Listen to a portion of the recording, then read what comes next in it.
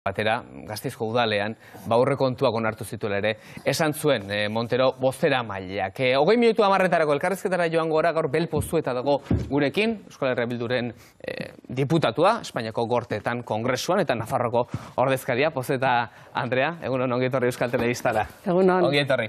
Iesker. Jakin berri dugu, azken ordukoa da, horrein ikagian goizegi da, honen inguruan e, valorazioak eta egiteko, ez dago lako informazio ondiri, baina ezkerra bertarden baitan hiru atxilok eta e, egon dira. Zuk dakizunaren arabera, eta horrein ere inor gutxik ezer baldin badaki ere, e, ze valorazio egiten duzu, giro politiko honetan, edo testu inguru politiko honetan gertatu diren hiru atxilok eta huez. Nik ere orain dela minutu batzuk jakin izan dut, eta lehenengo gauza etortzen zaidala dira bi emozioak bada tristura, eta beste bada ardura. E, ikusten dut eta eramaten nau baita ere lehengo e, estenatokoitara eta guk be, aurrera begiratzen dugu. Eta ikusten dugu, e, behin eta berriro ari gara esanez, ba, estenatoki resolutiboak behar ditugula, e, amaitu behar dugula dagoen sufrimenduarekin, gainera lotzen dugu Euskal Presoen e, gaiarekin. Eta ikusten dugu, bueno, e, egun hauetan hitz egiten da, asko hitz egiten da e, horri buruz, konpondu behar dela, eta gai politikoi eta arazo politikoi erantzun politikoekin e, erantzun behar dira. Eta holako gertakariak erakusten digu oraindik ere nola badago salbuespen egoera bat, nola e, Guardia Zibila oraindik presente dago, ze pisua dauken, eta honekin amaitu behar dugula. Elkarrezketa egin behar da, esan duzu, arazo politikoak, gai politikoak eh, bide politikoetatik eh, konpontzeko hori Madrilen egiten da e, nagusik Espainiarra estatuan, eta zu, entzun ere, Madrilen zaude, diputatuen kongresuan e, ba, EH Bilduren diputatu moduan. Estraneko, zila bete terdi pasada, kargo hartu zenuenetik, e, ze ikusi duzu, orain arte, zein da giroa? Bueno, giroa ikusi genuen, denok ikusi genuen, eta giro bat eh, nahiko naztuta. Ikusten da giro bat eh, eskubide aldetik ez duela oraindik irentzi zen nolako eh, ba, etorkizuna planteatzen den, eta ni geratzen naiz etorkizunarekin. Etorkizunak nik uste dut eman behar diogula aukerak ba, eh, eskerreko politikak egiteko, eman behar dugu aukera baita ere, bueno, planteamendu berriak emateko, bai eh, gai sozialekin, bai gai politika orokorrarekin, eta bai ikusten, bueno, lurraltasuna eta erabakitzeko eskubidearen gaiarekin, eta esubiranismoaren aldetik ere, ba, erantzun behar direla. Eta nik uste dut, aukerak badaudelak. Beti ere estetizismoarekin, badakigu norekin gauden, badakigu pesoek eh, behin eta berriro eh, ba, gauzak esaten ditula, baina gero, bueno, ikusten dugu baita ere realitateak eta ikusten dugu ez duela betetzen. Baina, bueno, e, emango diegu aukerak eta gu hortan e, gauzak berriak, aurrerakoiak eta politika sozialak e, gauzatzekoan egongo gara ere. Ezkerreko politika esan duzu, ustez behintzat ezkerreko bi alderdi daude, Espainiako gobernuan, eszeptizismoare aipatu didazu, konfiantza gutxi eskaintzen dizu Sánchezek, koalizio gobernuak, Sanchetek eta Iglesiasek batera, Iglesiasek ere konfiantza gutxi. Nik esango nuke, ba, lehioa edo atea zabaltzen badugu gauza berriak egiteko konfiantzak eskeniko diegula. Baina baitere, bueno, guk zentzuz arduraz jokatuko dugula, baina baitere oso exigenteak izango garela guk ez dugu oparitzen ezer, eta guk edukiekin eh, jokatu behar dugun. Orduan, eh, badaukagu Euskal Agendak, Euskal Herritarren agendak, nahi dugu herri bat duina eta horretarako politika duinak egin behar dira, eta hortan egongo gara. Orduan, zabaltzen dugu atea hori egiteko. Eta gauza berria dira, pensioak eguneko 0,9 eguneratzea, gauza berria izan liteke Dolores Delgado ministroiaren izendatzea esatuko fiskal nagusi moduan, emergentzia klimatiko egoera izendatzea Espainiako gobernuak, hasiera honetan nola ikusi dut Espainiako gobernua? Ba, nahiko zur edo, nik esango nuke, adibidez, e, euneko, euneko 0,9 bederatzik e, igotzea pensioak hori, bueno, ba, horrek ez du suposatzen konpontzea zer, da hasiera bat, baina oso murritza. Guk ikusten dugu aurretik murrizketak egon zirela, eta murrizketak hoiekin amaitu eta konpondu behar da.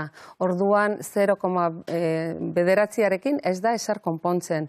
Guk esaten dugu e, gutxieneko bai soldata eta gutxieneko pentsio bat egon behar dela. Eta duintasunez bizitzeko, duintasunez, gainera hemen Euskal Herrian badakigu bizitza, e, bizitzeko ja bakarrik esnatzen garenetik azten garela ja e, gastuekin, gutxienez e, mila talarogei euro behar dela. Ezinbestekoa da. Eta hori e, bermatu behar da. Bermatu behar da bai Nafarroan, bermatu behar da bai Arkide Autonomoan, eta bermatu behar da baita ere ba, elkartasunaz e, e, gu badakigu e, Madrilera ez garela joaten e, gobernatzera e, Estatu Espainolak, baina badakigu baita ere zaindu behar dugula herritarren e, elkartasunak eta beste herrien e, duintasunak. Orduan, bai esaten dugu, Estatu osoan e, bermatu behar dela minimo hori mila eta laro gehi pensionistentzat eta mila eta berreun e, soldata, gutxieneko soldata. Argi dagoena da, Pedro Sánchezen eh, gobernuak gutxiengoan dagoela, eta beti babesa beharko dituela, bere investiduran argi eta garbi ikusi zen, babesa zen garesti dauden ere bai, eta badirudi alderdi batzuk, Eskerra Republikana esaterako, ba bere indar hori baliatzen eta probesten ari direla, ikusi berri dugu, zenolako e, keinu egin dituen Sánchezek, e, torrarekin bere bilduko dela, otxailaren lehenengo astean, agian kode penala ere aldatuko dela, sedizioa matxina bezalako delituak e, tipifikazio berri batekin ekartzeko. Euskal Herria bildu bere indarra, bere ala baliatuko du, bere ala mai gainean, e, espetxe politika aldatze eskatzeko? Guk esaten dugu edukinekin e, ba, negoziatuko dugulak eta argi dugu badaudela e, puntu batzuk ezinbestekoak. Eta espetxe politika e, da puntu garrantzitsua. Ikusten dugu e, zenolako e, sufrimendua sortu duen, zenolako salbuespeneko egoera eta politika horrekin zenolako e, eraginak eta zenolako ondorioak sortu diren, eta badagaraia horrekin amaitzeko. Badagaraia horrekin amaitzeko eta aurrera begiratzeko. Badakigu, nik nire, nire larruan bizi izan du zer den dispersioak. Nik ikusi dute nere semeak e, aranjoa ezen, egin ditugu bidaiak luzeak, nere gurasoak altxatu dira. E, goizeko iruretan e, berrogei minutoko bizita bat egiteko, izan dugu istripuak, Orduan guk, e, nik e, hitz egiten dudanean ikusten dut badaudela e, familiarrak, badaudela aurrak, badaudela amak, badaudela itonamonak, ba, urteak eta urteak ari direla sufritzen egoera hori. Eta zara aldatuko dela, legaldi honetan hori? Ala, mm, bai ala bai nik uste dut dela puntu bat aldatu behar dela, benetan demokraziaz e, hitz egiten badugu. Eta ikusten dugu e, ateak zabaltzen ari direla. Eta pentsate dut e, badaudela e, ez da, jokaerak berriak. Adibidez PSNek e, bai astelenean eta bai atzo e, adierazpen berriak, guretzako berriak egin zituzten eta e, nik uste dut eskatzen dena da legealdia, legea, legea betetzea eta peso presoen aldetik eta beste indarre aldetik badago beste jarrera. Horregatik itxaron pentsu eta itxaron pentsu, baina baita ere exigitzen honekin amaitu behar da, sufrimendu honekin amaitu behar da. Nor da interlokutore Euskal Herria Bilduren zat, eh, Madrilen, alderri sozialistaren gobernu horretatik, norekin hitz egiten du Euskal Herria Bilduk? Eh, ikusi da e, prensan e, egon direla bi momentu dun e, egoten diren bueno, bi pertsonak e, pesoen aldetik eta e, pertsonako iekin egon gara. Lastra Andrearekin? Bai. E, berak gobernu honetan, ez da gobernuko kidea, zen dute, gauza hauei buruz hitz egiteko Euskal Herria Bilduk, ez du interlokuzio zuzenik gobernuan, beti alderdiaren bidetik iristen da e, gobernura, zubi hori pasa behar du? Bueno, orain arte ere, bueno, e, mandiren e, kontaktuak eta guk beti esaten dugu zaindu behar dela, eta e, gauzak ez direla gora ipatu behar, ikusi dugu baita ere, nola e, pasaden astean, nola presoen gaiarekin, nola guk edukin adibidez eh, Fernandezek eh, komentatu zuenarekin edo nola atera zen baita ere prensa aurrean edukinekin ba geunden eh, erabat ados baina moduekin esaten genuen dela e, gai bat e, tentuz landu behar dela. Ikusten dugu inguruan baita ere zen olako indarrak dauden ba, ekiditzeko eta horrekin ez gainditzeko. Eta horregatik, bueno, ba, zaindu behar da, nola lantzen den, eta nik uste dut e, ez dela gora ipatu behar. Gauzak hitz egin baino gehiago ekin, ekin egin behar dira. Badiru elkarrezketaren garaian e, gaudela, Kataluniarekin marida ematen, jarre aldaketa bat, Espainiako gobernuaren aldetik behintzat, gerturapen bat ere bai, generalitatearekiko, edo gutxi ez dintzat eskerra republikanarekiko, elkarrezketa dago, alderre sozialistarekin Nafarroan, EH Bildu gorre kontuei e, bide emango die, edo bintzat ez ditu oztopatuko, eta nola baitere esaten da bila aurre kontuak egongo direla. Marra gorriak dagoeneko Euskal Herria Bildu gainditzen ari dela, lehen ezarreta zauden marra gorri batzuk, gainditzen ari dela esango zenuk, eta benetan hemen aldaketa bat badatorrela? Guk hitz egiteko beti presa egon gara, beti. Eta gaitasun hori gainera erakutsi dugu. E, prese hitz egiteko e, siglek baino gehiago edukinei buruz. Eta ikusi da adibidez Nafarroan nola pesen erekin hitz egin dugun, baina baita ere irunen. Ikusi da nola e, aldugun edo Podemosekin hitz egin dugun bai arranterian, bai durangon, Eta ikusi dugu baita edo ikusi da nola PNV-rekin baita ere herriosan, en, arabako herriosan, e, hitz egin dugu, adostu ditugu baita ere paktuak e, eskubiari aurre egiteko.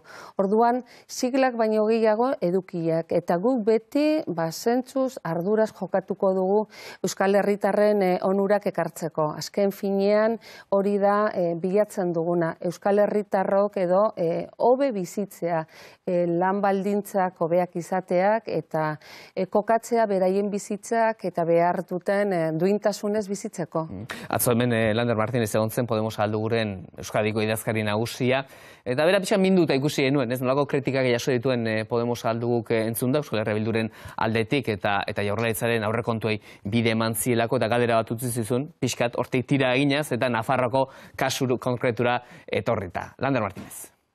Ea kontra esan bat den, e, Euskadin oso zorrotzak eta oso gogorrak izatea e, aurrekontu akordiekin, Nafarroan aurrekontu akordio bat izatea, eta amarregun beranduago e, greba bat e, egitea mm, akordioa egin duzun gobernuaren kontra.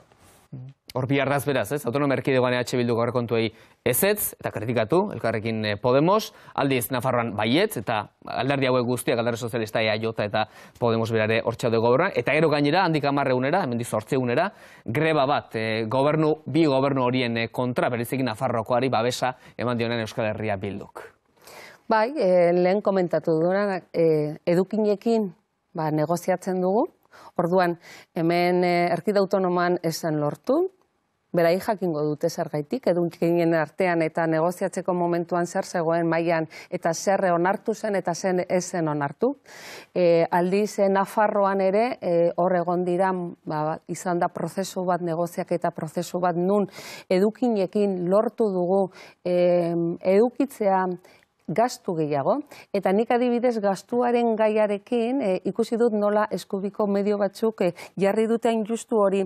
Euskal Herria bilduk lortuko du gastatzea gehiago jolasten horrekin hauek ez, ba bai, e, lortuko dugu gastatzea gehiago politika sozialak e, egiteko. Lortuko ditugu adibidez e, banka, Nafarroko banka e, oinarriak e, jartzea. Lortuko dugu baita ere eskolak 0 iru eskolak e, aurrera teratzea eta medio gehiago e, oiek integratzea. Lortuko ditugu azken finean gastatzea gehiago jendeak hobe bizitzeko. Eta ea kontrasana dan e, horren aurrean baita ere greba egitea, ba ez da kontrasan bat. Nik argi daukat eta guk argi dugu, ba baditugu helburu batzuk lortu egin behar direla, duintasunez, lehen esan dudanak, bai e, pentsioen aldetik, bai e, e, gutxineko soldatak, bai e, lan egiteko orduak, bai e, e, soldatak eta bai e, baldintza batzuk lan egiteko eta adibidez e, erreformak e, legeak. Ba, ikusita hori, e, hoiek dira mugak eta bitartean, bitartean egongo dira ba, pausoak. Adibidez, e, Nafarroko gobernuan lortu duguna da pauso bat, baina galdu gabe eta e, argi ikusi ikusten zeintzuk, zeintzuk diren gure helburuak. Horregatik, ba, prekaritatearen kontra e, kalean egongo gara. Eta eskubiko e, eskubiek jartzen dituen e, neurrien aurrean gu ere kalean egongo gara. Eta argi dugu baita ere e, Karta de Derechos Soziales edo planteatzen ditun e, neurriak guk horrekin pres gaude baita ere kalean e, aldarrikatzeko. Eta jabukatzeko esango nuke, ba, ustartu behar direla e, lan egiteko modu horiek kalean egon behar gara. Eta instituzioetan, egon behar gara, ustartu behar da hori, ba, politika aurrerakoiak egiteko. Eta kaletik behartu behar gaituzte ere. Ni kalean egongo naiz, eta ni Madrilen egongo naiz, baina kalean egonda entzungo dut baitare kalean zer eskatzen den. Eta horri entzungo diot. Gure solaski ere galdera bana egiten utzi nahi nieke, eh, pozu eta Andre eta gaur galdezkainoa etxeidea hasiko da. Bai, e, egun hon, bel. Bueno, e, etxetik prestatuan ekarren e, galdera zen, eskontzea greba orokorraren deialdia gobernuaren e, babesarekin, baina landerreri erantzunez e, ondo baina nobeto egin dezenez, joango naiz gaurko gaira, eta da, estatu indarkerria berriro ere, eta gobernuak, gobernu asmo akorre egonda ere, estatu bat. E, dago eta estatu horrek eskua sartzen du Euskal Herrian. Aipatu dituzue garai berriak eta ikusi ditugu gauza berriak. Besteak beste H Bilduk egindakoa, baina badago zerbait aldatzen ez dana eta nahiko sarra dela eta da Euskal Agenda hitz egiten da bai PNVren eta bai H Bilduren aldetikan, baina estatuaren aurrean e, kokatzeko akordioak e, oraindik orain ezinezkoak direla edo ez dirudiela PNV eta EH Bildu eskutik e, hartuta eta aliantza sendo batekin estatuaren aurrean herri hau jarriko duenik, ez? Eta hori paregabea litzateke gaurko egoerari aurre aurre egiteko. Nik bi galdera ditut. Bata horren inguruan e, Euskal Agendaren premia, baina batez ere estatu baten aurrean herri hau jartzeko garaian nun daude aukerak? PNV-rekin, jokoan dagoenean zein den mitzakide nagusia, estatuaren aurrean, eta bigarna nola bizitzen den leia hori e, Euskal Herriko ordezkari izanik, baina Nafarroaren e, izenean, ze oso, oso paskongadoa den e, ez da bai da bat e, delako, ez? Eta badiru dielako, ba, Nafarroko gaiak, bigarren maila batean gelditu daitezkena, jakinda, ba, azkeneko lagurtetan, ez dakiz zenbat, e, Nafarroko arau, Tribunal Konstituzionalak, e, hausitan jarri dituela, ez?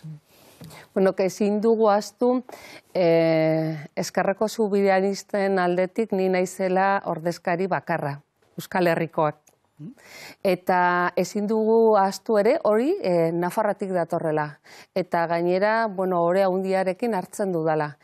Eta Nafarrako politikak eh, argi argi dugu, e, Nafarroko, Nafarroko e, ba, subirano edo e, izan behar diren gai askotan argi dugu, eta adibidez foro berriarekin ikusi dugu zer gertatu den.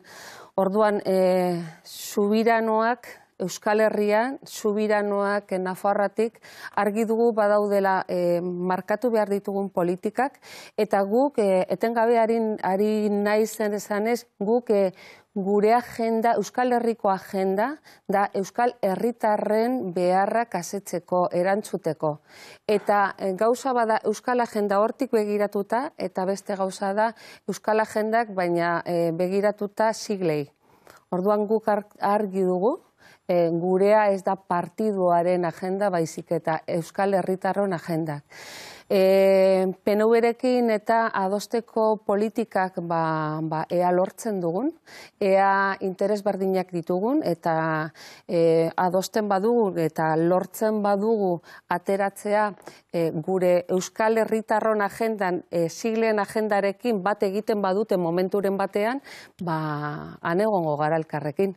Baina argi dugu Euskal Herritarron agenda, eta hortan dudari gabe Nafarroaren hitzare ba, badago. Niko Moreno, kengo dizu rengo galdera. Egun, onbel. Eh, bueno, ni, ni bai, galdera hildo horretatik eh, doia. Eh, agendetaz eh, ari garenez, pues, bai, Euskal Agenda eh, entzun dugu bain eta berriro, nik bai, Euskal Agenda, EH eh, Bildun kasuan, Nafarroa ere barne biltzen dauela, baina investidura zaiotan eta ikusi izan dugu eh, nola eh, Sergio Zaiasek eh, planteatu dauen, termino gordinetan eta termino bortitzetan eta argi dau. E, bueno, Nafarroan e, e, existentziero, Nafarroaren agenda, ustezko agenda berezi bat, ez? Bere ikuspegitik bintzat. Ez to konpartitzen, baina bere, bere ikuspegitik. E, claro, horrek legintzaldian zehar, segura esko behartuko dau, behartuko dau, e, EH Bildun baitan, eta zu ordezkari EH Bildun ordezkari Nafarra bakarra izanik, e, arriskua ete dagoen egoteko azkenien ala behartuta Euskal Agenda bat EAkoa eta Euskal Agenda bat Nafarroakoa e, e, lehibiltzarren parlamentuan, ero horre nola, nola planteatzen dozuen e, e, nunbait Nafarroako agotza, e, e, zain Nafarroako agotza, bebai, e, nubaitzen aurre itea argi dauena zein izango den e, Sergio Saiazen eta, eta Nafarroa Zumaren e, estrategiari. Nafarroaren, e, Nafarro sumaren estrategia eta ikusi, genuen, e, ikusi zen modun, ba, beraien lehen lehensten dutenen e, Espainian eta e, horren ingurun sortu duten e, argumentario berri hori eta Nafarroaren interesak e, ez, ez dute erantzuten. E, argi eta garbi, e, beraiek ere osatu dute e, talde bat nun Ciudadanos hor zegoen, eta Ciudadanosek esaten zuen justu, ba, e, ez zuen onartzen, ez Nafarroko zubirinotasunak, ez Nafarrokaren hitza. E, argi eta garbi ikusi zen baita ere aurre egiteko, guri aurre egiteko eta e, gobernu berriari aurre egiteko lehenesten zuten ba, edo plante, e, planteatzen zuten Espainia, Espainia eta hortik ez irela ateratzen. E, bestaldetik, e, Euskal, Euskal Herria bilduren e, partetik e, gut e, taldea sortu dugu, eta taldean e, argi dugu Euskal Herritarron hitza garelak, eta Euskal Herri herria dago satuta herrialde desberdinekin, eta Nafarroaren hitza badagola nirekin ordezkatuta. Nirekin ordezkatuta, baina mertxe e, gipuzkoatik ba, baldin badator ere, mertzek baita ere hitze egingo du Nafarroaren e, subirenotasunaren alde. Ez dago leia, e, guk talde modun argi dugu Nafarroaren subirionotasunak e, defendatu egin behar dugula. Eta Nafartarrok e, nahi dugunak eta Nafartarrok e, herritarrok e, nahi dugunak defendatuko dugula. Argi dugu baita ere ekimen desberdinak egin behar ditugula e, bereziki e, Nafarroaren gaiarekin. Eta hain zuzen, e, ja sartu dugu e, e, eskaera bat, eta adibidez e, kalbori bai e, eskatuko diogu konpadezentziak azaltzeko foru berriarekin, e, zergaitik e, konstituzionalaren bitartez baldintzatu nahi duten Nafarroaren zuberonotasuna, ze argudio dauzkatek eta ze asmo dauzkaten. Guk espero dugu hori kentzea, baina guk baita ere ja, e, lehen esan dut, e, bai pazientziak, bai arduraz, baina oso exigenteak izango garela. Eta Nafarroaren subironotasunarekin oso oso exigenteak izango gara. Nire partetik eta talde osoaren partetik. Eta azkenengo aldera, irugarrena, eta laburra izateko eskatuko dut gainera, Esteban, antxuste egiri. Esteban. Bueno, eh, orain Nafarroako horrekontua direla eta ba, ba, badirudi horlako akordio badagoela alderdi sozialista eta alderdi sozialista, gobernu badauka alderdi sozialista eta Euskal Herria bildun artean. Arata guztiz, eh, nik aldera bat egin nahiko nizuke, ea sumatu duzun alderdi sozialistan eh, aldaketaren bat.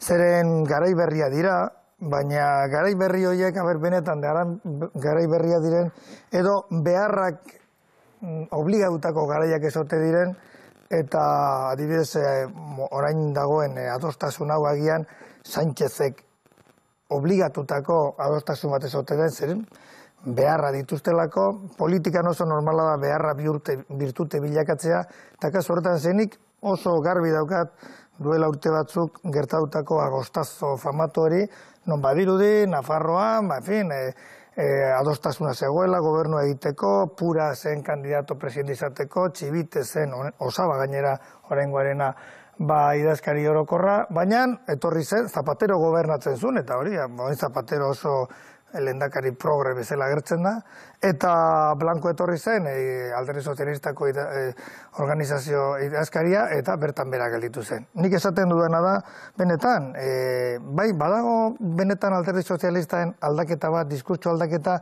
edo dena egoerak edo kontestuak eskatuta egiten da. Badago aldaketa bat Nafarroan, ba, alderdi sozialistaren paper autonomo bat, eta kontuan izan behar delako, Espainiar estatuan, Nafarroa estatu arazo bat izaten jarraitzen duela. Hor galdera. Ba, ze nizuke, alde batetik gure burmuina Nafartarrok badugu agostazoaren gaia, hor zer nola bizi izan genuen, ze nolako eh, frustrazioak sortu zitzaigun, eta horregatik estetizimoa, esaten dugunean PSOErekin eta PSNerekin estektikoak garela, horregatik ere, bueno, baditugu adibide asko, baina gostazoarena eh, ba hori esazteko.